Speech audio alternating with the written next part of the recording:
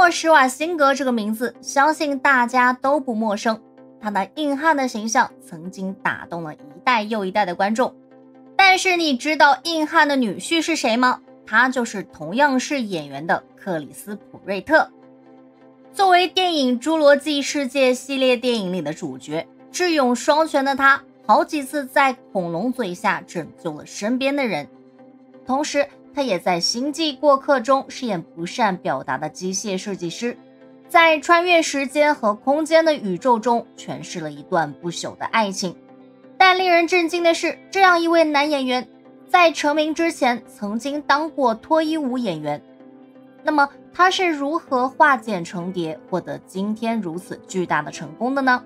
这里是布吉岛，今天就让我们来走进克里斯·普瑞特的故事。一九七九年。普瑞特出生在美国，他不怎么爱读书，比起脑力活动，他更喜欢体力活动。高中的时候，他就长到一点八八米。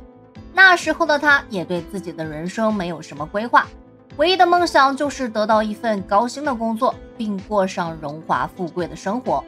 但不想，刚上社会大学一个月，他就因为枯燥的学习生活选择了辍学，并开始了打零工的生活。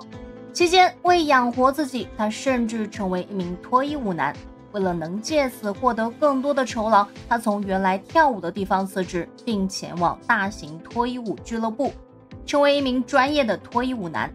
不想，俱乐部认为他尚未具有这份资质，拒绝了他。面试失败的他，既没钱交房租，也没有任何可以糊口的才能，因此他成为了一名无家可归的流浪者。无奈之下，他只好跑去夏威夷，并成天住在车里。没房子住，但至少要吃饱。秉持着这份想法的他，最终得到了一份餐厅服务员的工作。然而，人生的机遇也来得很突然。端盘子的时候，被演员兼导演雷伊·道恩中相中，邀请他出演一部名不见经传的短片。这次拍电影的经历让他意识到自己原来具有表演天赋。而且他本身也很喜欢表演这件事，于是他开始找各种各样的试镜机会，在大大小小的影剧里露脸。《雪山镇》则是他在好莱坞的第一部电视剧，他在里面演女主的哥哥。从2002年到2006年，这部剧拍了89集，普瑞特一集没有落下，全部参加了拍摄。很可惜，这部剧后来被砍了。之后，他又开始了在不同剧组里到处跑的日子。二零零八年，他终于有幸和影后合作，并在电影《刺客联盟》中饰演一个办公室霸凌者。虽然不是男主，但很多影迷表示，至今记得他被键盘甩在脸上的经典场面。之后，他成功借此让大众对他有了记忆点。于是，他顺利参与了美剧《公园与游戏》的拍摄。据悉，原先只是饰演其中一个配角的他，因为演技可圈可点，剧中表现出来的幽默深受观众喜爱，所以他从第二季起变成了常驻。至此，这部剧也成为了他的代表作。由于喜剧天赋很出众，所以到后来，编剧甚至会直接在剧本上写下普瑞特做了一些动作，然后放任他去发挥。当然。电视剧《公园与游戏》也让普瑞特发现自己格外适合演喜剧。不过这些还远远不够。为了使自己演的这些角色更喜感，他甚至主动增肥，把自己吃成了一个大胖子。于是那段时间内，什么热量高他就吃什么。增重对于喜剧角色的塑造确实有增益。外媒报道，显然观众更爱《公园与游戏》中的安迪。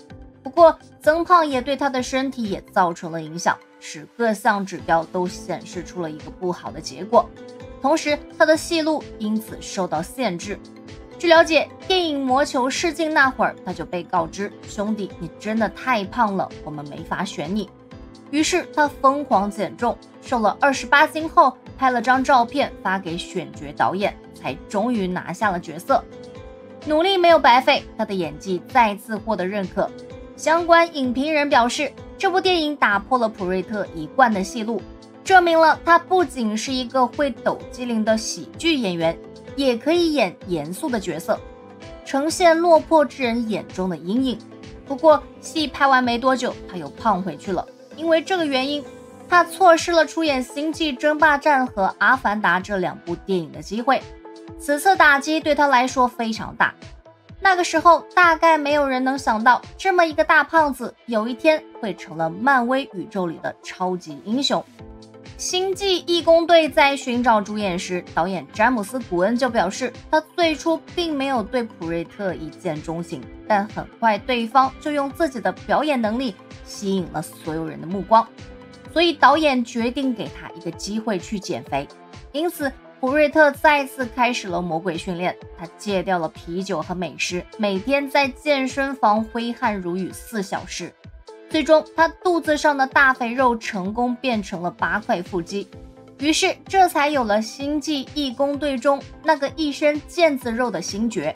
普瑞特的优秀表现让他顺利出演了《星际义工队》的续集。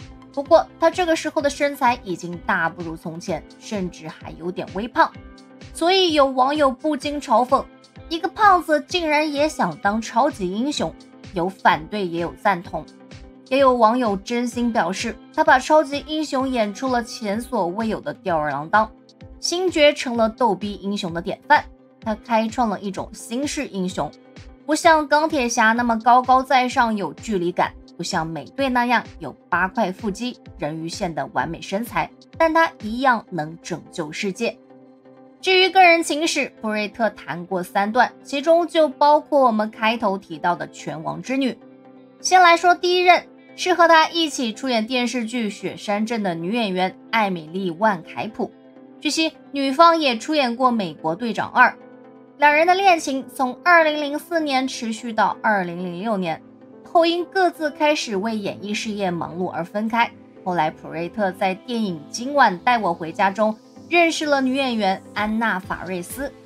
作为曾演过《惊声尖叫》系列和《女郎我最吐》的女演员，她也是许多男人心目中的女神。从2009年开始，两人多次约会，并在不久后宣布恋情。同年，他们正式走进婚姻的殿堂，并在2012年8月迎来一个儿子，孩子的名字叫杰克。然而，这段婚姻维持了九年，就以离婚收场。但和许多演员相爱相杀不同，两人的分离是低调而真诚的。据了解，为了让杰克快乐长大，普瑞特和法瑞斯各自都有了新伴侣后，仍然同意继续当最亲密的好友与邻居。二零一九年，普瑞特与新女友交往七个月，就决定把她娶回家。这个美丽女孩就是比他小十岁的凯撒琳·施瓦辛格。听名字你就知道。普瑞特未来的岳父就是大名鼎鼎的阿诺·施瓦辛格。谈及结缘的理由，普瑞特表示：“我们两个都很喜欢动物，所以我们自然而然走到了一起。所以两人的约会场所通常都是到不同的牧场，并和其中动物来一场亲密接触。”二零一九年，这对情侣走进了婚姻的殿堂。次年，凯瑟琳现身街头时被拍到和妈妈一起闲聊遛狗。但记者也发现，凯瑟琳小腹微隆，估计已经怀孕。新闻爆出后，她则大方回应，确实即将迎来爱情的结晶。可能是有了孩子的加持，普瑞特更加深爱自己的妻子。为表达爱意，他不惜在杂志访问里说道：“女生都喜欢默默有自信的男人，而不是那种我很棒，大家都知道的类型。我对于自己很自在，做自己就对了。”然后别太在意这本杂志里教你的那些。我的妻子对于我这种状态很满意，当然我也很爱我的妻子。这不是自卖自夸。前妻法瑞斯也曾说，他看起来就是个搞笑咖，但是他的聪明是会让你惊讶的。普瑞特是一个非常有趣又有深度的男人。普瑞特做过脱衣舞郎，当过流浪汉，曾经的他是别人眼里彻头彻尾的 loser。但命运给了他转变自己的机会，从二百七十多斤的胖子到练出一身腱子肉，他成了好莱坞炙手可热的超级英雄，达成了年轻时候的梦想。如今他更是抱得美人归，成为了人生的大赢家。最后祝愿他事业顺利，婚姻美满。里斯帕拉特本人因《银河护卫队》里扮演骚包星爵克里斯一战成名，他为星爵专门减肥。太有恒心了，爱死电影里的他了，说话超级可爱。动不动就激动，音调立马提高。他不是在演，这就是生活中的本人。他会在拍摄大片的现场，也不自觉像星爵一样逗比，比如把一只草猛扔进嘴里，等他自己跳出来，或者走进一间废弃的小木屋，一屁股坐在凳子上，大模大样的假装要点九杯啤酒。而星爵卡斯《星球大战》的莉亚公主竟然无法反驳。很多网友看了他的对比照，纷纷感慨：果然胖子都是潜力股。星爵克里斯以前确实非常穷，进入娱乐圈之前，他是一个标准的英俊坏男孩，付不起房租，跑到夏威夷流浪。一九七九年六月二十一日，克里斯出生在美国一个普通的工薪家庭，爸爸是房屋维修工，妈妈是超市收银员。而克里斯不爱学习，妥妥的一个学渣。高中时个头长到一米八十八，是个壮实小伙子。他在高中期间就靠摔跤比赛赚零花钱。那时候在州办的高中摔跤比赛，他能排上前五名。教练问他：“呵，傻小子，你将来想做啥？”克里斯挠了挠头：“做梦就做大一点，也不怕说，我也不知道。不过我觉得吧，你哥们儿这人品，将来必定成大事。我得赚出一座金山来，扬名立万。”说完，他也没当回事，书不好好念，赚钱计划也没有。高中毕业后，这家伙在社区大学混了一个学期就跑了，没文凭，靠卖力气赚钱，除草工、服务生、优惠券推销员，钱不够用，多打几份工。他去脱衣舞俱乐部面试，人家看不上他在那里尬舞，于是他只好重新想办法，做了一个广告牌。只需要支付四十美元，你就能请到一位火辣少年为自己的生日派对跳电臀舞。当然，没几个人找他跳脱衣舞，他迅速沦为无家可归之人，付不起房租，跑到夏威夷流浪。稍微能赚到一些钱时，才有房车可以住，差点就睡帐篷听海浪。总之，过得像一个流浪汉。那一年，他才十九岁，他倒是很喜欢夏威夷，不用整天工作。喝喝酒，抽抽烟，和其他流浪汉一起吹吹牛。因为太胖，经常接不到戏。克里斯人生的转折点出现在十九岁那年，他在一家餐厅打工，遇到澳大利亚演员瑞伊·道恩冲，两人聊得甚欢。克里斯毛遂自荐，我也想拍电影。于是他得到一个龙套角色，片酬是七百五十美元。这比他端盘子赚得多，并且克里斯发现自己喜欢演戏，也想起了高中时对老师吹的那个白日梦。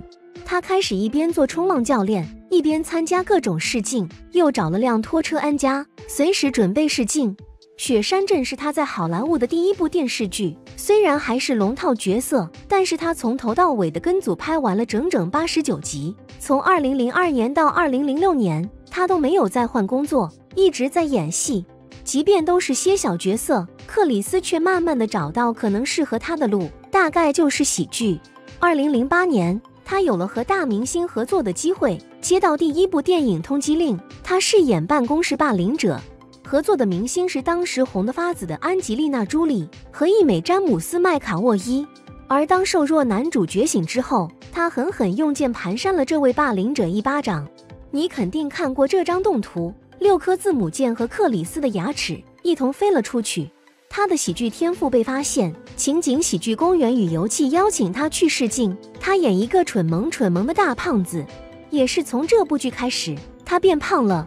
他每顿都吃四个汉堡，一度体重超越三百斤。他在《公园与游戏》里喜剧天赋展现的淋漓致尽，编剧甚至直接在剧本上只写安迪做了一些动作，然后放任克里斯去发挥。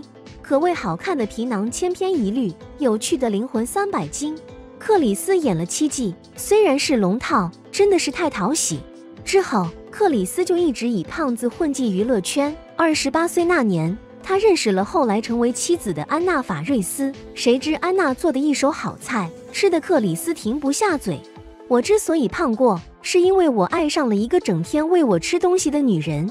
她自己只吃一点点。我就吃完自己的和他剩下的，肥胖让克里斯陷入了不开心。当我又胖又不开心时，我就吃东西解压，越吃越胖，越不开心。电影《点球成金》试镜那会儿，导演说：“兄弟，你真的太胖了，我们没法选你。”于是他疯狂减肥，瘦了二十八斤，拍照片发给导演，才拿到一个配角。也因为胖，形象太差，很多机会都错过了。他去试镜《星际迷航》《阿凡达》，配角都没有被选中，他沮丧极了，又开始吃东西。为拍《银河护卫队》，半年减掉七十斤。转机总是在最绝望的时候出现。二零一三年，《银河护卫队》正在试镜，导演詹姆斯·冈恩已经面试二十多个演员，还有一些颇有名的，但就是找不到合适的人选。他要找的超级英雄是英俊迷人，有很多弱点。又带着一丝纯真。于是有人马上向导演推荐了克里斯。导演的第一反应是拒绝：“是公园与游戏里那个胖乎乎的笨家伙吗？你在开玩笑吗？”推荐人看中克里斯的喜剧天赋，极力撮合。导演答应见一见。克里斯听说漫威想要找他聊聊，而且是扮演主角星爵，他傻眼了。我吓坏了。对一个超级英雄来说，我实在是太胖了。到了试镜那天。导演瞬间被克里斯的表演吸引，跟所有那些经典的电影明星一样，他有一种天生的幽默感。导演答应给他一次机会，但克里斯还有一件不得不完成的任务，那就是瘦下来。这是克里斯跑了十三年龙套后第一次获得演主角的机会，他非常紧张又倍感珍惜。第一轮试镜《银河护卫队》时，他重达二百七十二斤，他开始每天运动至少四小时。连续六个月，每周剧组的人都会去克里斯家里检查他的体重，给他拿道具拍照，看照片出来是什么效果。有时他们会一边拍摄一边交头接耳。为什么克里斯还是这么胖？克里斯也非常沮丧。减肥最困难的不是运动，而是改变饮食习惯。以前他都是啤酒喝完，喝红酒，饭后再来一份甜点，又是肉食动物，爱吃高热量食物。如今只能吃寡淡无味的健身餐，减肥的这六个月简直要了他的老命，但他还是坚持下来了，最后减掉了七十斤肥肉。在《银河护卫队》里，有了令女生尖叫的人鱼线。这是克里斯第一次主演电影主角，他有些不适应。除了控制体重，他还有学会控制配角思维，放下他那些急于取悦观众的习惯，把自己交给导演。导演则希望他保持本色就行，这就是他的魅力。但克里斯却很难相信自己有魅力。直到电影拍摄结束，他的自信才增加了一些。《银河护卫队》上映，星爵一夜爆红，大家都爱上了这个尬舞的逗比。爱情始于童话，却以离婚告终。星爵火了后，克里斯自然片约不断。从大导演史蒂文斯皮尔伯格加持的《侏罗纪世界》，到和大表姐詹妮弗劳伦斯主演的《太空旅客》，他的片酬已经涨到一千二百万。他和高中教练吹的那个牛赚出一座金山，基本实现了。这忙碌的工作让他忽略了妻子安娜。他们结婚八年，安娜三十六岁高龄生子，孩子早产，在新生儿重症监护室住了很久。克里斯陪在安娜身边，整夜的祈祷。终于，儿子渡过难关，但落下视力方面的病根，这意味着他们的孩子需要更多的关爱和照顾。但是克里斯太忙了，从流浪汉变身好莱坞一线明星，他没能在家庭和事业间做好平衡和准备。安娜一个人照顾孩子，身心俱疲。此时，八卦记者又瞎传克里斯和大表姐的绯闻，这无疑雪上加霜。二零一七年八月，他们宣布分居。这一消息震惊网络。他们说努力的尝试过了，实在没办法，只能面对现实。俩人达成协议，规定俩人住所在未来五年内相距不得超过五英里（约八公里），一直到儿子完成六年级学业，解除此规定。安娜坦言：“我们有过一段很棒的婚姻，但现在爱情已经转变成为了友情。我们仍然都爱我们五岁的儿子杰克。”离婚后，两人都有了新的恋情。英国毒舌大王王尔德这样说过：“什么是离婚的主要原因？结婚。”安娜和克里斯离婚后，他还相信爱情，但对于结婚这件事变得保守。我不确定婚姻的意义，也不确定婚姻关系是否能够永久保障到孩子的权益。而克里斯倒像个没心没肺的逗比。就在去年的六月，克里斯和施瓦辛格的女儿凯瑟琳结了婚。这一回，克里斯是不敢再离婚的。你问为什么？因为他打不过施瓦辛格呀。拥有一个灭霸级别老丈人，星爵该老实了。